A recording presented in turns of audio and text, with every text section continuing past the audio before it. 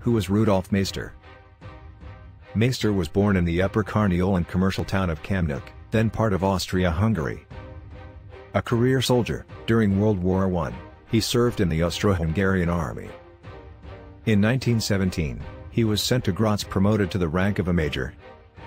In 1918, near the end of the war when it was obvious that Austria-Hungary was losing, the city council of Maribor proclaimed the annexation of Maribor to Austria.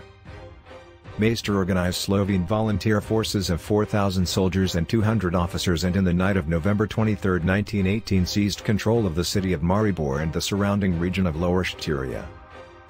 This date has been recognized as a state holiday in Slovenia since 2005.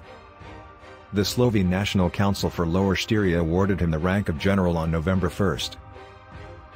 The German-speaking city was thus secured for the newly formed state of Slovenes, Croats, and Serbs which united with the Kingdom of Serbia into the Kingdom of Serbs, Croats and Slovenes on December 1.